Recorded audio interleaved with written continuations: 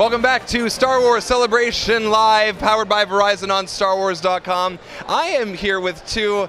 I, I, I don't want mean to offend you, but two very lucky guys who, after years and years of dedication, recently got to work on Star Wars Episode 7, The Force Awakens. Is that correct? Yes. Yep, that's correct. Yeah. All right, can you, can you tell me what you guys do? Oh, sorry, sorry first, introduce yourselves. yeah, I'm Lee Towersey. Yeah. And um, I'm I'm the R2D2 droid builder, Okay, and we built other droids as well for the Force Awakens. right. And, and your name? Uh, my name's Oliver Steeples, and I've been part of the R2 Builders Group since 2002. So, can you tell the story about how, first of all, how you got started in the R2 Builders Club? Yeah, well, uh, uh, probably best if you start, Oliver, because you're the oldest. Oh, well, right, thanks, the oldest. member compared to me. So, uh, yeah, I joined the R2 Builders Group at 2002 during its inception, um, and now here I am 13-ish years later with two and a half R2s at home and worked on Star Wars Episode 7 with R2. And I and I joined the R2 Builders Group um, in 2007.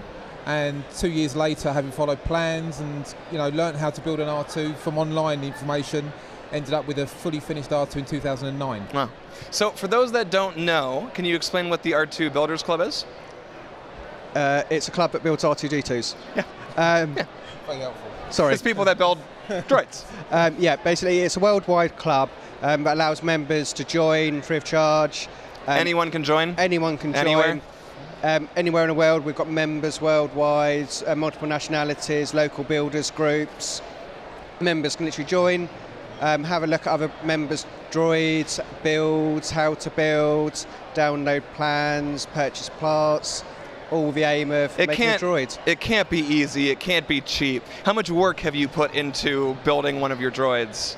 Well, my own my own personal Yeah. one took me two years, um, and that was in a lot of spare time. You know, I gave my, my I've got a very understanding wife who most evenings she didn't see me. I was in my workshop weaving away for two years, but the information that I had from 2007 was a lot more resourceful than what Oliver had because he sta- when he started his build, the information wasn't so readily available. Right. But as the group's grown, um, even now there's more information available now. They're a very helpful, bun- helpful bunch of guys, and um, that's how we managed it. So as time goes on, new information is coming out all the time, even in 2007, on droids that were made in the 70s and the 80s, and then also how to make it work with the technology we have today. Yes. Yeah? Yeah. Yeah. That's right. Yeah. Uh, so you're minding your own business. You are this hardcore fan of Star Wars. You're building this in your spare time, and at some point, somehow, you get contacted to work on Episode Seven. How does that happen? What's that All- first all email, that Oliver's- first contact? All Oliver's work. I'll let him talk about that. Oh, Credit where it's, it's, it's due. my fault. um, so, at Celebration um, at Europe in Essen in Germany in 2013, um, the R2 Builders built a specific droid R4C2 to go up on stage. So we had backstage passes. Um, very cheekily, I mentioned to Kathleen Kennedy that if they needed any droids for any films they were making, uh, please contact me, right. as you do. Yeah. Um, as you do. Yeah, and then You're just just chatting with Kathleen Kennedy. hey, if you ever want to hire me, you know, just to make some droids for you. Um, and then three months later, I got the call to say, Oh, no way! Get out of here! Yeah. It was as simple as that. You're in the right place at the right time. yes. So, I mean, all of the questions I want to ask you, you probably can't answer.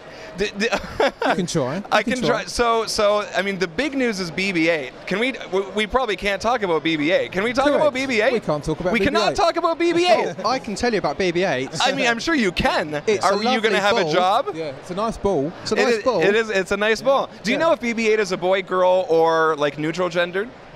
Not sure. We don't Not- know. Not sure. Not sure. Not sure. Yeah, it's just a droid. Yeah, we, I don't think we can comment Could- on that. do we We're refer to BB-8 as a think- him? Because we call it like C-3PO. Yeah, You'd say I like think- him. Yeah, I wouldn't think call it an I it. That's right. Yeah, him. Him's Right. good. Yeah. I, I think it's safe to say R2 is all man. Right. Mm. yeah. yeah. and, and we have seen R2 in the new trailer now. Indeed, So, yeah. I mean, we could have assumed, but now we've seen that R2's in it, right? Of course. Yeah, yes, okay. Yeah, R2, I can confirm is in. And you film. guys worked on both of those, maybe? No, no, okay, we, okay. we had we had nothing to do with BB-8. okay. Um, that was a far more talented team of guys, but it was it was a pleasure to see that grow in the same workshop as we were in making R2. you Well, know, it- it was a- and see what came out of it. You know, it's, it's Right.